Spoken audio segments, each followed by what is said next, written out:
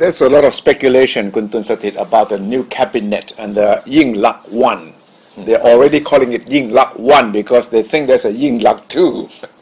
Uh, of course, we don't know who's really forming the cabinet.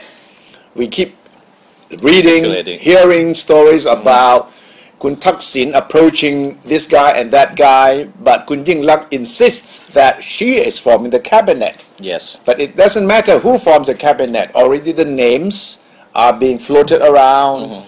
And as far as you can see, what would be the most important portfolios in the new cabinet? Well, the most important or the most difficult. I have here a list of the five most difficult Mm-hmm. Uh-huh. portfolios for Kun Yingluck, Yeah. at least.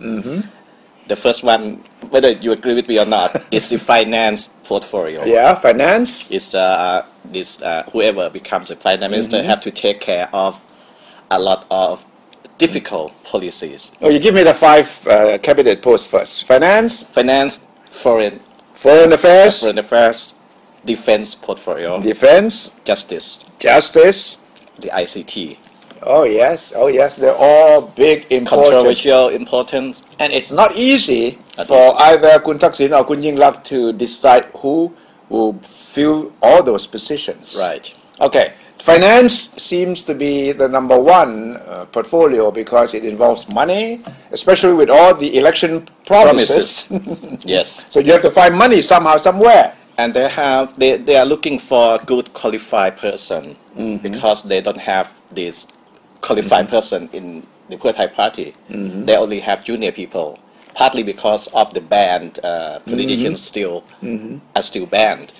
But I see a lot of pe- people in the party willing to take up this position. Yes, but uh, Kun, Kun Yingluck, we have to think very hard about that because this is the most uh, important, not not in terms of uh, implementation, but also in terms of uh, image of the government. So she we have to send out a very good message to the world or to the Thai public that she has a really qualified person. Uh huh. So maybe an outsider, maybe a outsider. party. And, member. another thing is that uh, from the candidates that we have been speculating about, Mm-hmm. none of them has really confirmed or uh, said, uh, at least hinted Mm-hmm. that they, they are ready to take up the job. It's not easy because if you get an outsider who is a well-known person who is established in his life, in his career, then it's not an easy decision to drop the job and come over for a political position that you know you don't know how long it's going to last. You don't know how free you're going to. How, what kind of freedom do you have?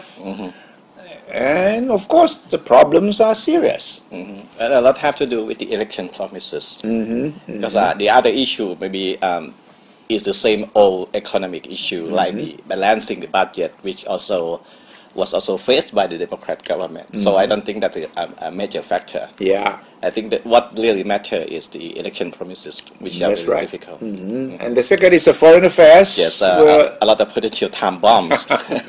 Cambodia, Cambodia, the, uh, World Court, the Germany. the Germany incident. And one thing is that um, they this person may have to decide on whether or not to revoke uh, to to give back Kun Thaksin his passport. oh wow, Wow, is that a- a that very a very sensitive thing. Okay, defense. Defense, uh, we discussed before, it's got to be someone who can really bridge the gap or um, um, make uh, the relations, improve the relations between the Thai party and the Thai armed forces. Why do you think justice is so important? Justice usually, in the past anyway, was you know not a very important or big issue for parties to form cabinet, the cabinet. Yes, uh, but uh, Kun Yingluck, uh, uh, she always said that reconciliation is one of the most important Yes, uh, uh, uh, platform uh, uh, policies of her government. So the people will keep looking who will be this uh, justice minister in her government who can um, make reconciliation possible, not more difficult. okay, so it has suddenly become an important the portfolio. Yes, and uh, it, it, if, if somehow Kun Yingluck uh, ignore all the warnings and decide to go ahead with the amnesty, this justice, uh, justice minister will have to be the forefront of that. Right. Mm. Then ICT. ICT is a big, big uh, project, and it involves investment of uh, a huge amount of money.